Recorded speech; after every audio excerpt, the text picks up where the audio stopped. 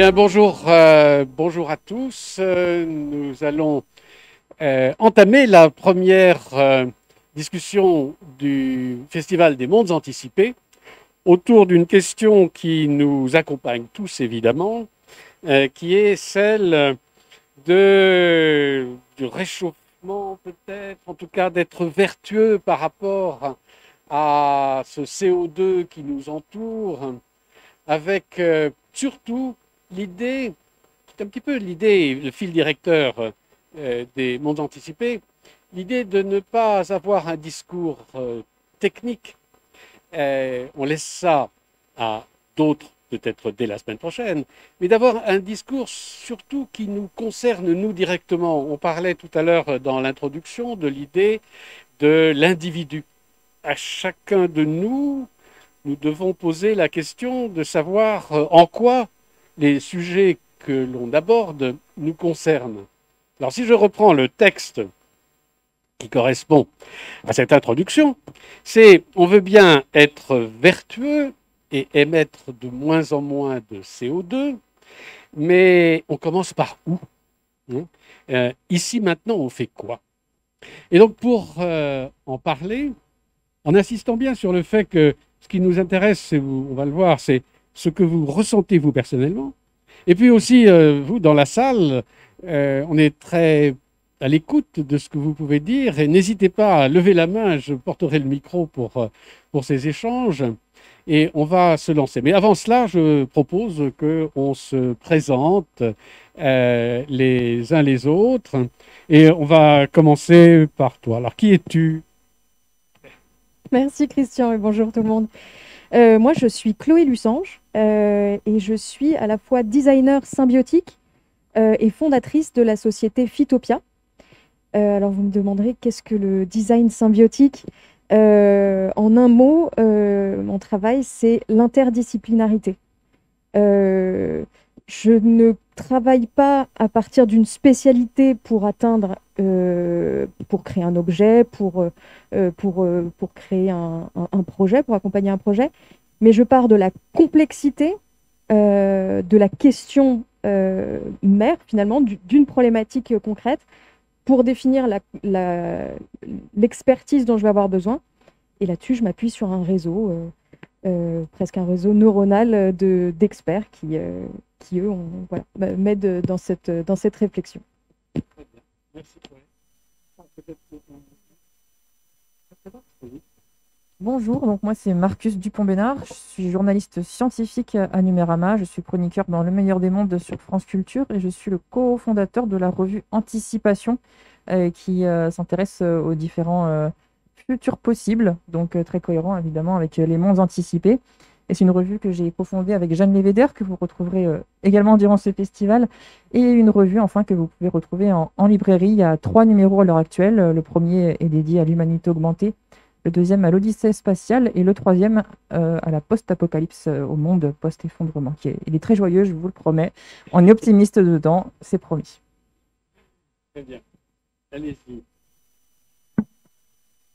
Bonjour, donc moi c'est Christelle Bonne-Mazon-Carrel, donc je suis euh, de formation docteur en géochimie marine. Je travaillais une quinzaine d'années dans la recherche, euh, donc, euh, dans un laboratoire euh, de recherche à Pau, à l'université de Pau, et depuis un an et demi à peu près, je suis chef d'entreprise euh, avec deux associés. euh, on, on re- on reconstruit la filière du lin dans le Béarn et on va valoriser les produits euh, de cette culture. Et aujourd'hui, je, et je suis également euh, adjointe au maire de Pau en charge de la transition euh, écologique et du soutien à l'innovation. Donc, complètement dans notre sujet. Et là, c'est bon? Oui, super. J'ai vu la lumière verte, donc c'est très bien. Donc, je, je me présente à Medalal. Euh, je suis euh, professeur à l'Université de Pau, physicien. Euh, je suis aussi, euh, là, on sait, depuis 2020, depuis mai 2020, je suis euh, maire adjoint d'une petite ville qui s'appelle Gelos, qui est au pied de, de Pau. Et je suis en charge de, l'environnement, l'innovation et l'économie. Voilà. Très bien. Eh bien, garde, on va, on va se tutoyer, hein, ce sera aussi simple. Ga- Garde le micro, garde le micro, Ahmed. Et alors, qu'est-ce qu'évoque pour toi ce sujet? De vouloir être vertueux et comment faire Il t'a lâché C'est bon. Alors moi, je, je suis déjà posé cette question il y a très très longtemps en tant que physicien, en tant que scientifique. L'université de Pau porte ce langage-là, c'est-à-dire prévoir demain, prévoir les futures solutions, etc. Donc c'est un milieu dans lequel je baigne depuis euh, plus de 30 ans maintenant. Prévoir demain, c'est euh, l'université de Pau, ici en l'occurrence, qui le fait. Ensuite, euh, en termes de, personnes, je me suis posé aussi la question pour aller chercher des produits de, qualité suffisamment intéressante pour préserver l'environnement et la santé des hommes. Et j'ai créé pour cela une, entreprise après avoir euh, fait trois ans de recherche au niveau de l'université pour créer un nouveau produit euh, qui était assez intéressant pour ça.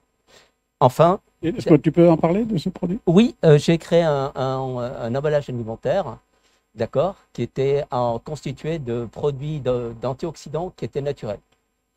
Et dans cette aventure, euh, Christelle m'avait accompagné donc euh, pour ça. Et ensuite, ensuite en 2020, j'ai eu l'opportunité d'être sur une liste pour être élu et j'ai été élu à, à Jolos. Et en ce niveau-là, je porte pour la commune de Jolos et j'espère pour toute la communauté bientôt un projet pour créer un musée sans mur au sein de notre, de notre agglomération. Un musée qui va permettre de préserver euh, les arbres, parce que ça va tourner autour de cette thématique, préserver les arbres et venir réenchanter, redynamiser, recréer le parc naturel urbain, euh, qui s'appelle le parc naturel urbain des rives du Gave, pour le redynamiser, planter des arbres et permettre à cette biodiversité qui est autour de l'arbre, parce que quand on parle de l'arbre, on n'est pas en train de parler simplement de la plante, alors ensuite, on peut discuter plante ou pas, euh, de la plante, mais on parle de tout un, écosystème qui a autour de l'arbre. Et quand on préserve l'arbre, on préserve tout cet écosystème. Et nous, ce qu'on souhaiterait, c'est venir sensibiliser le, citoyen, sensibiliser le consommateur par l'art et le numérique pour, euh, pour en servir, pour s'en servir comme médiateur, afin qu'il soit sensibilisé à cette préservation. Que sans la biodiversité, on n'est plus rien, il n'y a plus rien et le voyage, comme vous l'appelez, s'arrête. Et donc nous, ce qu'on souhaite, c'est poursuivre ce voyage grâce à nos, euh, les, les, gens qui participent avec nous à ce voyage, c'est-à-dire tous les autres êtres, tous les autres êtres de tous les écosystèmes. Et, et si eux ne survivent pas, nous non plus. Être vertueux, donc, commence sur le terrain Oui. Euh, précisément. Est-ce que je dirais et, alors Et je, je, je veux aller plus loin sur le terrain c'est que pour nous, il y a une seule échelle qui soit bonne pour la préservation de la biodiversité et de l'environnement, c'est la commune. Oui. C'est-à-dire, c'est le lieu qui est le plus proche de l'individu et c'est le lieu où l'individu peut agir à son échelle. Parce que si on n'agit pas à son échelle, on ne peut pas comprendre ce que c'est que la biodiversité. Si on ne regarde pas l'arbre qui est à côté de ses choix, si on ne regarde pas la feuille qui, ou l'herbe ou qui est à côté de soi. Est-ce que tu dirais que cette conviction a participé de ton élection euh, pas du tout. Dommage. Non, non, non, non je, je, je, plaisante pour ça. Non, parce que dans l'élection, on avait mis comme euh, thématique transversale la transition écologique. Oui. Et bien sûr, on avait mis la biodiversité comme euh, principal euh, acteur. Oui, mais do donc c'était un argument qui convainc Absolument. le public. Absolument. C'est très intéressant. OK.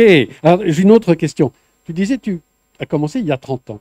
Oui. Est-ce que la problématique il y a 30 ans est très différente de celle d'aujourd'hui? Qu'est-ce qui s'est passé dans ces 30 ans par rapport à ce sujet? Alors, c'était il y a 30 ans, quand je suis entré dans le métier de, de scientifique, c'était de, de, physicien, c'était très pointu comme histoire.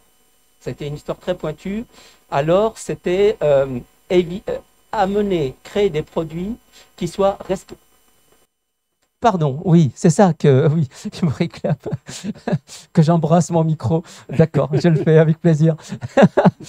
Donc, euh, il, y a, y a 30 ans, la question, c'était de, faire des économies. C'était ça la, la, vraie question. Les économies, quand on produit un plastique, euh, qu'est-ce qu'on peut éviter de mettre dans le plastique pour avoir euh, une chaîne de production qui soit la plus simple possible?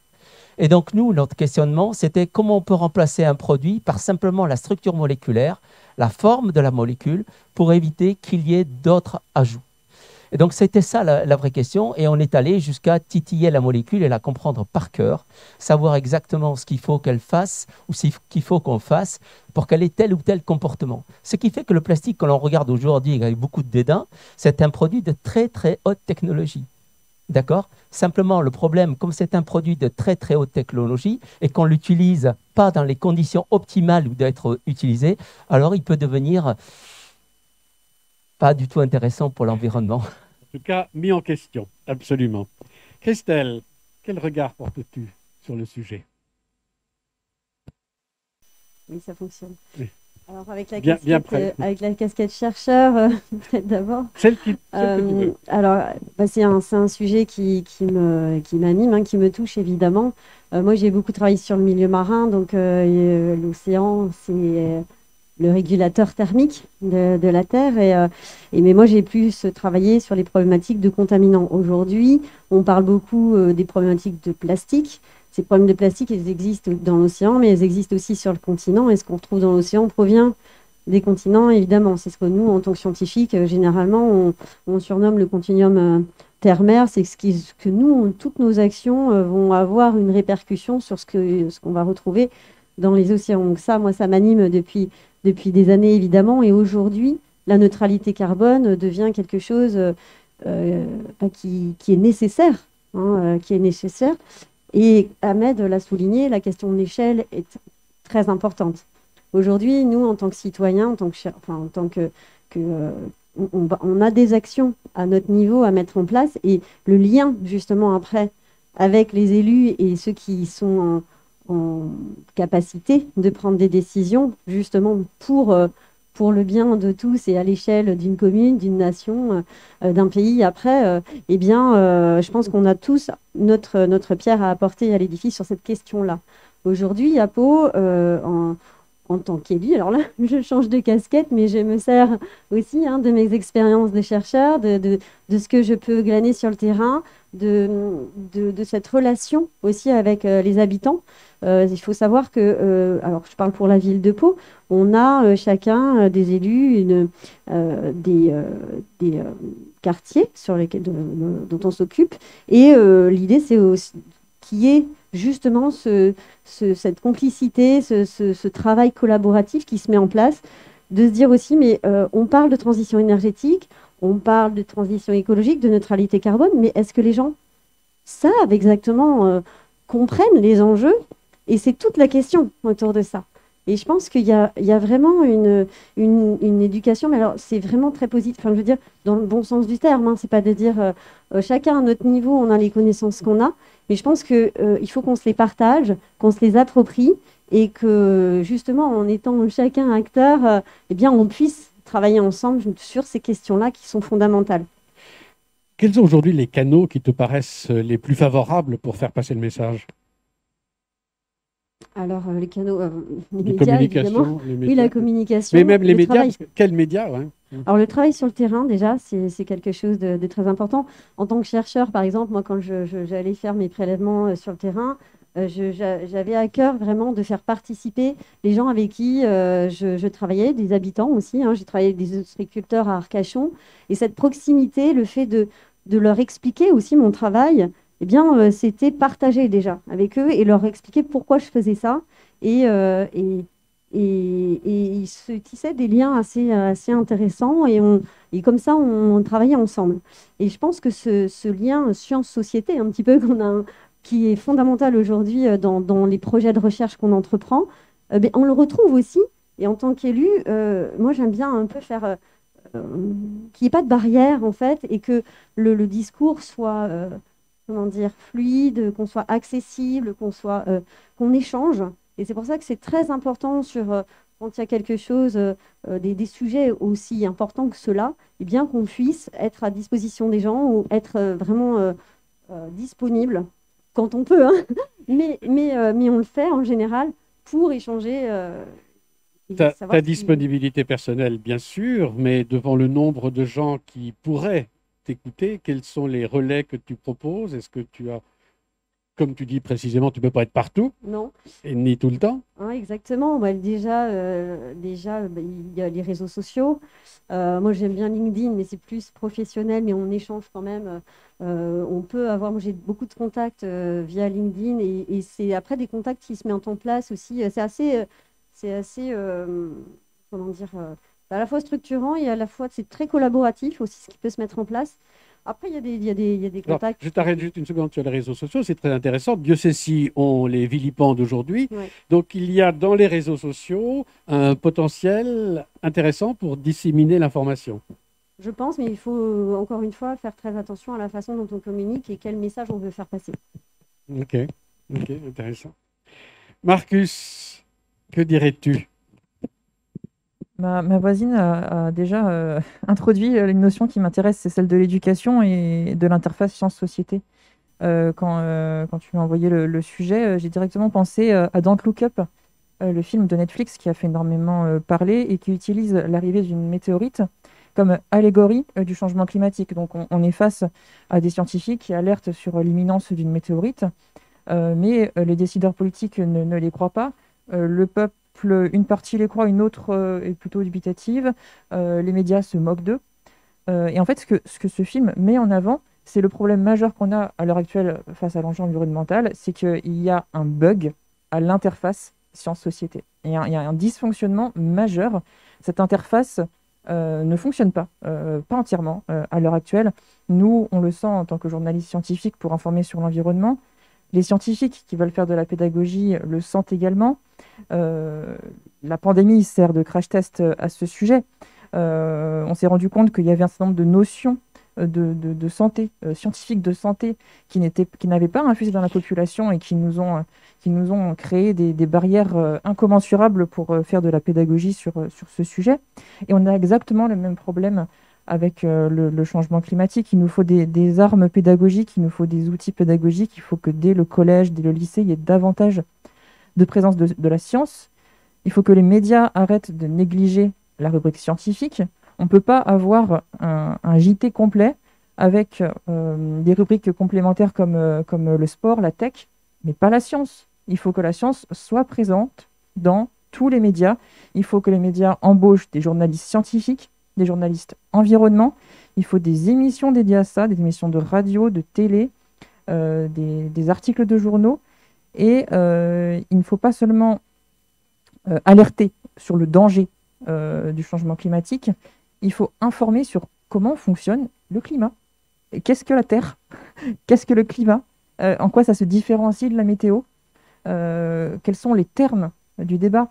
Par exemple, moi, je suis en général assez, assez irrité par l'expression réchauffement climatique, qui est scientifiquement fausse. On parle de changement climatique. Ce n'est pas que un réchauffement. On parle d'un bouleversement de l'état complet de la planète, une acidification des océans, euh, ce type de, phénomène-là. Réchauffement climatique est une expression qui restreint l'enjeu. L'enjeu est beaucoup plus large que ça, donc il faut parler de changement climatique.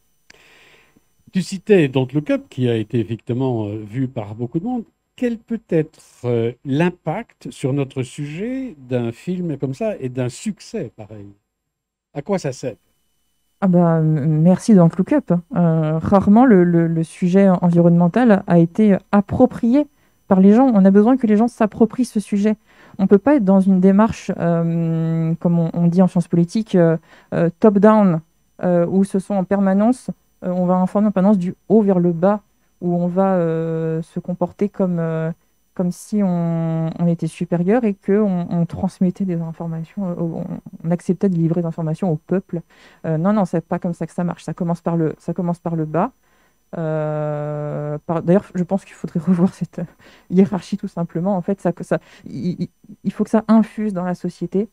Et la pop culture joue un rôle essentiel. il faut, il faut lire euh, la climate fiction, euh, la, littérature qui est dédiée à l'étude du changement climatique.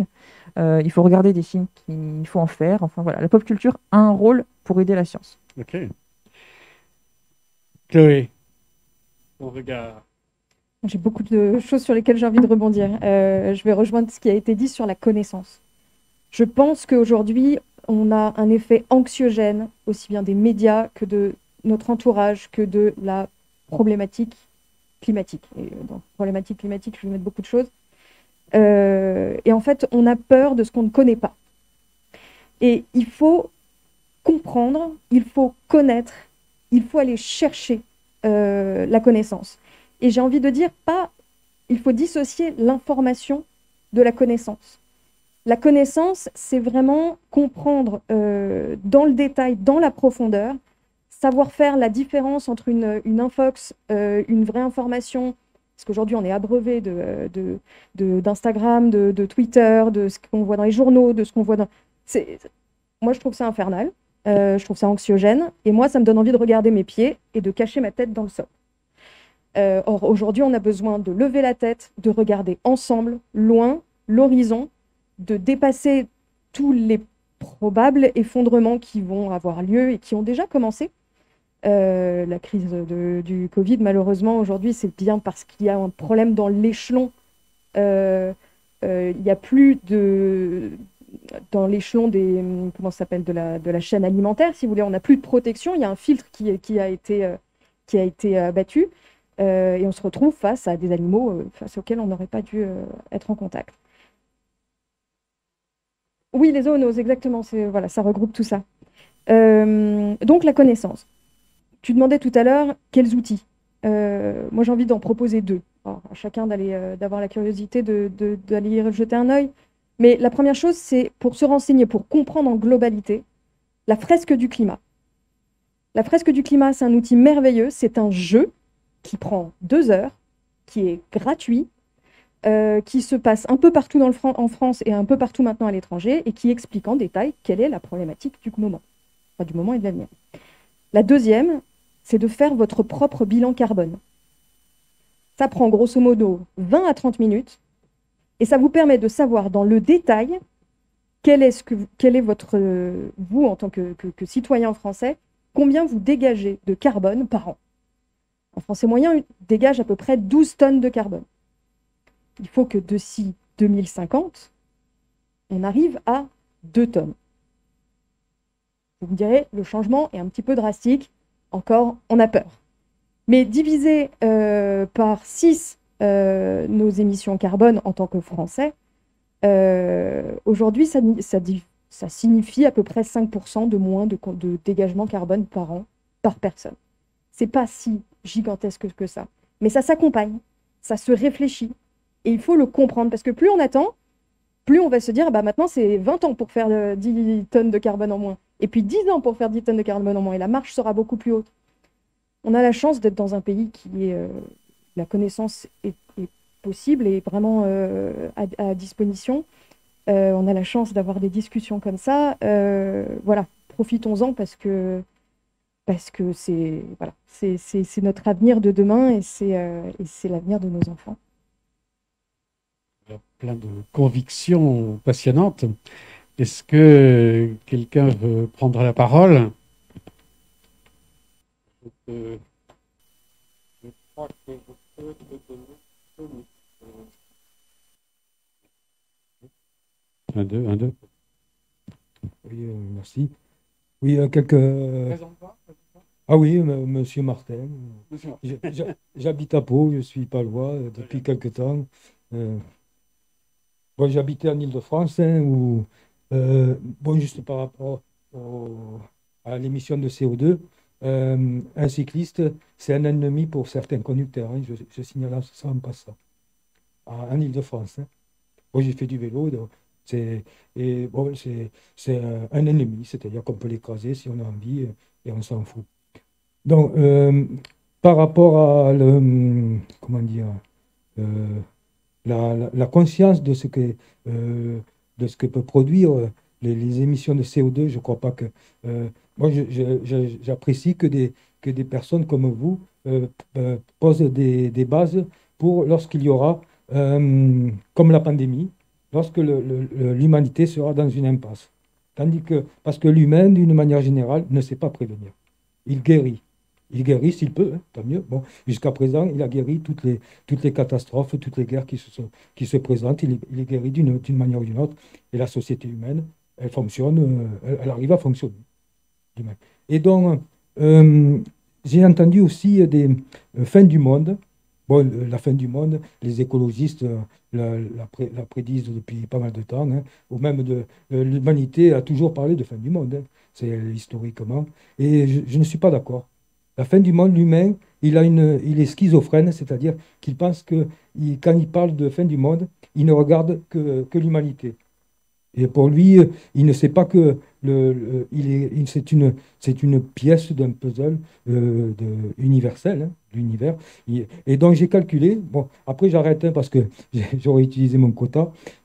j'apprécie hein, justement que, des personnes, euh, vous cinq là, euh, ayez conscience de ce que vous, en, réalité, vous posez les bases, les, les, les politiques, ils utiliseront ces bases lorsque se présentera un problème crucial pour l'humanité. Ça, ça, ça, va tôt ou tard. Parce que... Et donc, je termine par rapport à, à l'humanité qui se prend pour euh, un, objet spécial dans l'univers. Hein. Euh, j'ai calculé que l'humanité, ça, en volume, c'est 1 km cube, avec 7 milliards d'individus. Et tandis que la Terre, c'est 1000 milliards de, kilomètres cubes. Et elle n'en a rien à foutre, la Terre, que l'humain disparaisse ou pas. Parce que si l'humain disparaît, bon, il y aura toujours des survivants, s'il y a des catastrophes, en, supposant. Si l'humain disparaît, il y a toujours des, espèces qui survivront jusqu'à ce que la Terre disparaisse complètement. Ou revienne à l'état virginal? Merci, Martel. Est-ce que quelqu'un d'autre veut prendre la parole? Très bien. Bien. Alors, par rapport à cette mise en bouche, il y a il y a l'idée de à quoi. Alors, je rebondis sur euh, M. Martel, finalement. Hein. c'est à quoi peut servir cette prise de conscience qui est, qui est la nôtre? Réflexion sur le politique, réflexion sur le scientifique, réflexion sur l'information et la connaissance. Qu'est-ce qui pourra nous aider, à votre avis, le mieux à surmonter cette phase actuelle Amen.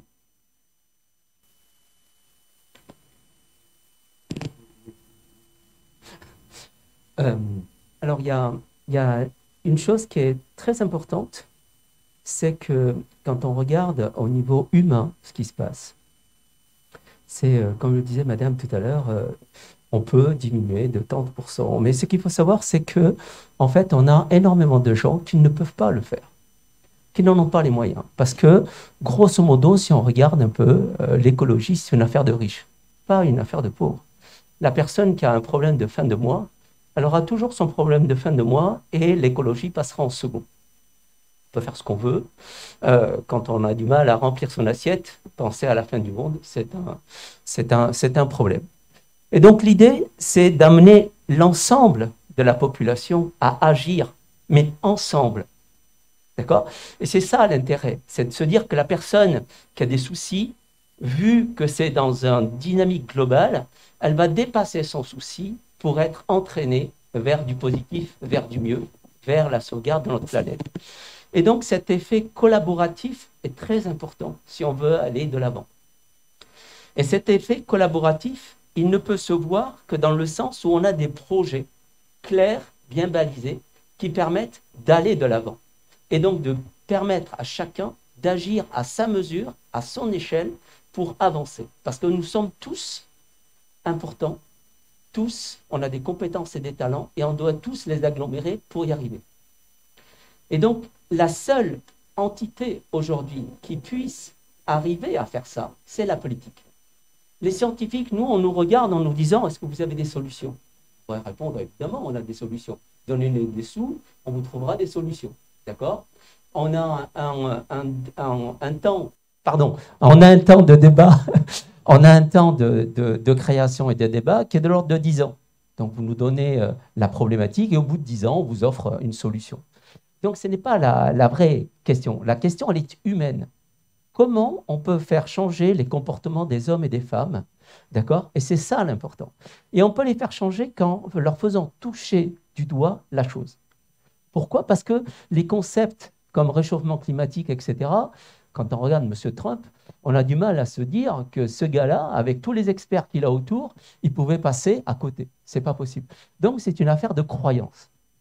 Et là, on se ramène à ce que disait Madame et à ce que disait Monsieur. On a une affaire de croyance. Donc, on n'a pas, on peut mettre tous les chiffres que l'on veut devant la table. Les chiffres, ce n'est pas significatif. Mais que les gens croient à un projet, qu'ils avancent dans une direction, ça c'est possible et ça c'est potentiellement intéressant. Et moi je crois que le politique, là, a toute son importance parce qu'il a le délai court. On peut faire des choses politiquement en un temps très court, largement en dessous des 10 ans, d'accord? Et comme, grosso modo, on n'a pas 100 ans pour faire le changement climatique, on a à peu près entre 30 ans, grosso modo, pour y arriver. Donc, je pense que le politique a toute son importance pour ça, et s'appuyant sur des projets. Je trouve ça intéressant, justement, cet aspect de... Euh, elle, est, elle, est, double, la question du, de, de, la le politique euh, va nous sauver. Euh, la première chose, c'est que le politique a clairement une, responsabilité et, un, et, des cartes à jouer sur l'accompagnement, la formation, voire même créer des lois pour nous permettre de nous accompagner dans, cette, dans, cette dans ce changement. Malgré tout, je pense, et ça m'appartient, ça mais je pense qu'on a notre responsabilité en tant que citoyen pour faire changer les choses. Quand on regarde dans l'histoire du monde, aujourd'hui on est sur un exercice d'anticipation, mais regardons quand même l'histoire, parce que l'un ne joue pas sans l'autre. Quand on regarde dans l'histoire, la Renaissance, gros changement quand même du Moyen Âge à un âge éclairé, euh, on n'est pas passé par un jeu politique. Euh, on est passé par, à un moment, des hommes à travers l'Europe se sont imprégnés, se sont appropriés une, problématique qui était commune et dont ils n'avaient pas conscience qu'elle était commune. Malgré tout, ils ont eu un chemin intellectuel qui allait dans le même sens. Et c'est des groupuscules qui ont fait la différence. Et à travers l'histoire, on se rend compte en regardant vraiment, euh, en, analysant vraiment les faits, que c'est toujours des petits groupes de gens qui font la différence. Je suis d'accord avec ce que dit monsieur. Pour reprendre la formule de, quelqu'un que j'aime beaucoup, euh, c'est la fin d'un monde n'est pas la fin du monde.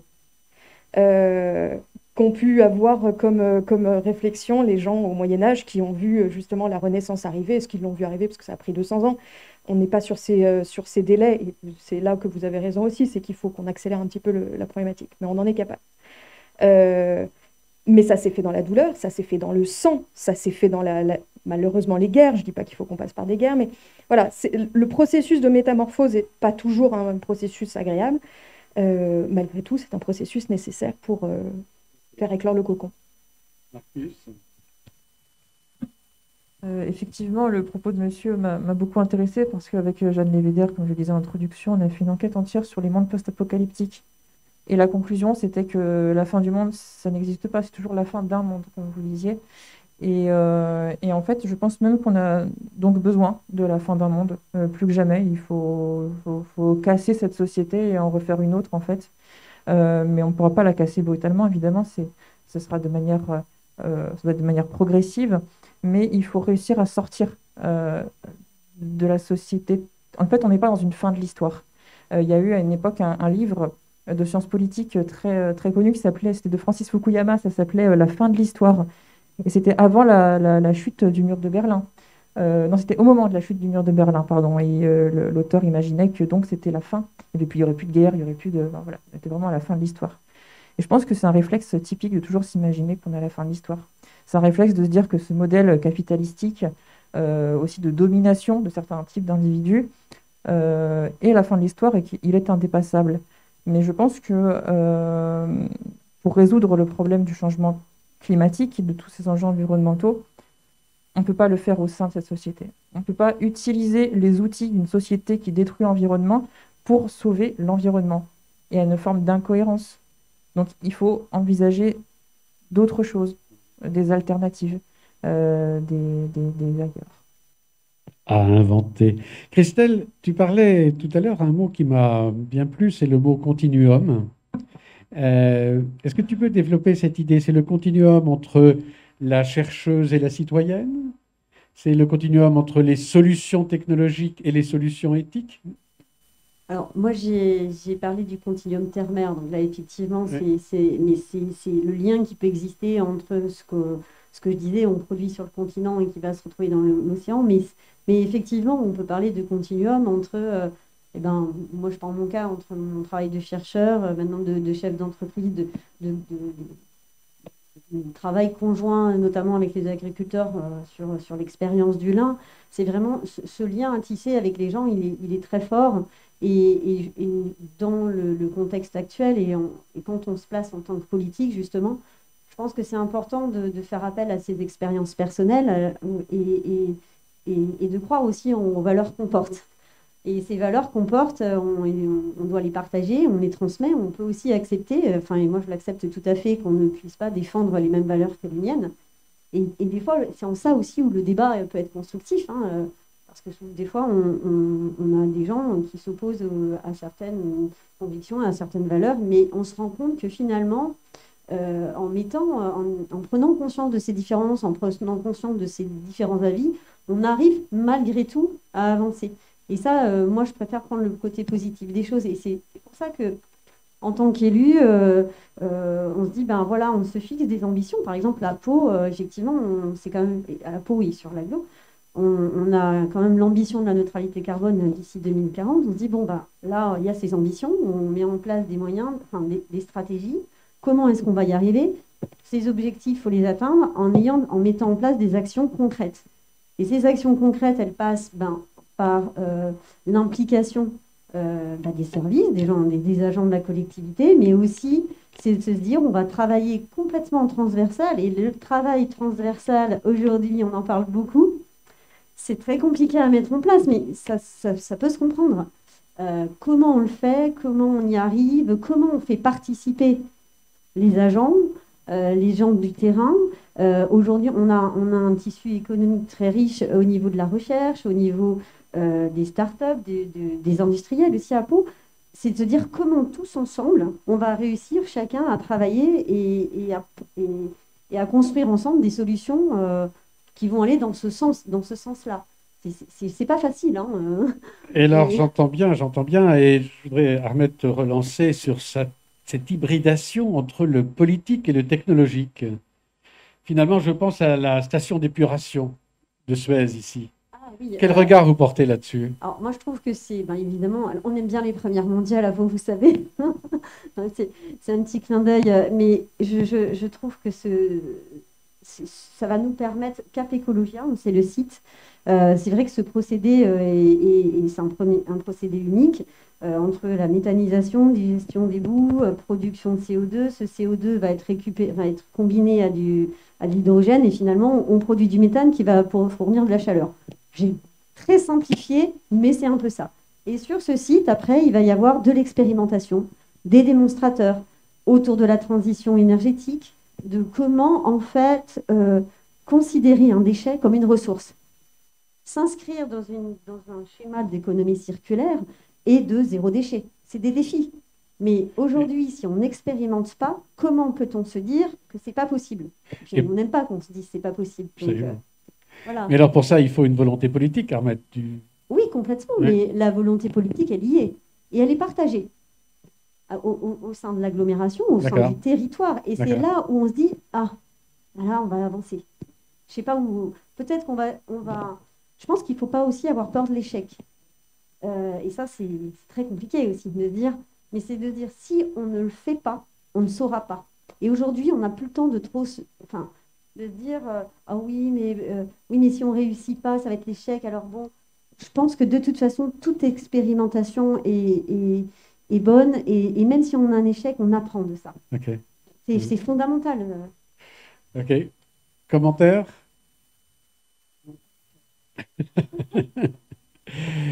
Bon, on a encore euh, cinq minutes pour conclure. Alors, la jonction entre le politique et le technologique, qu'est-ce que tu en déjà, la première chose, c'est que j'aimerais euh, répondre un petit peu à ce que vous venez de soulever, mais euh, c'est en se plantant qu'on devient cultivé. Euh, et je trouve que la notion de, bah, d'échec est finalement un tremplin. Euh, la jonction entre le technologique et, le, politique. Et, le politique. On va voir le, film Geostorm. on va voir le film Geostorm. Qui prône euh, la solution technologique pour s'en sortir. Il va finir par se planter. Mais enfin, il y a, l'idée quand même de. Tu nous as raconté la fin. Ah, j'ai spoilé. Ah, j'ai spoilé. c'est un film américain. Oui, c'est pas grave. Et donc, euh, donc l'idée, elle est euh, est-ce que le technologique suffit quoi? Moi, je crois qu'on se. Et non, la réponse est sûrement non. Mais vas-y moi, j'ai envie de dire que la technologie, euh, on se cache un petit peu euh, derrière notre petit doigt. Euh, la technologie, c'est merveilleux, c'est des outils qui, et, c'est une logique d'appréhension de, du monde qui, est, qui nous permet de, nous repousser, d'aller toujours plus loin. il faut quand même se rappeler que l'une des grosses problématiques actuelles, c'est la consommation d'énergie et que la technologie, euh, bah, ça ne dépend que de l'énergie finalement, parce que le jour où on n'a plus d'énergie, bah, la technologie, euh, elle restera euh, comme Wally sur sa planète tout seul. ceci dit, les technologies peuvent avoir de l'intérêt dans le sens où une intelligence artificielle, par exemple, peut nous permettre de mimer des actions ou des modes d'organisation de la nature la puissance, la toute puissance ou la toute connaissance, on va dire, d'un programme, d'un logiciel. Il faut se rappeler aussi que l'intelligence artificielle, c'est un moyen de communiquer avec la machine. Hein, ce pas des robots comme on va le voir dans les films de ce soir, aujourd'hui. Euh, et une connaissance complète dans un ordinateur euh, de, ce qui fait le monde peut nous permettre d'affiner euh, bah, des besoins euh, agroalimentaires, euh, d'affiner notre consommation d'énergie. Donc il y a une dualité là-dessus qui est, qui est, compliquée à répondre. Intéressant. Encore deux minutes. Et pour, pour finir, Marcus, le journaliste scientifique, quel regard porte-t-il sur cela? Il y a beaucoup de, je, pense à deux choses. Euh, il y a beaucoup de désinformation sur la place du numérique dans l'enjeu écologique, euh, notamment le fait que quand vous envoyez un mail, vous polluez, c'est faux. Hein, voilà, c'est en fait, c'est faux. Il n'y a pas de preuve de ça, c'est une, fake news. par exemple, le numérique pèse environ 2,5% sur l'une des dernières études sur, sur le climat. Donc il faut œuvrer sur ça, mais sur d'autres également, l'alimentation, l'énergie, il faut qu'elle soit plus verte. Euh, voilà, donc il ne faut pas, non plus, pas tout faire reposer sur la technologie. Mais il y, a un double tranchant à ça, c'est qu'il ne faut pas non plus faire reposer entièrement la solution sur la technologie et tomber dans ce, qui est, dans ce que serait la géo-ingénierie, c'est-à-dire euh, chercher à modifier le climat en utilisant les technologies. Et à ce moment-là, euh, on risque de faire plus de dégâts que de résoudre le problème. Merci.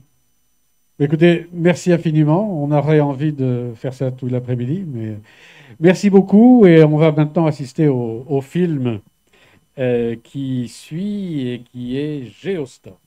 Euh, on va faire 10 minutes de pause et on se retrouve après.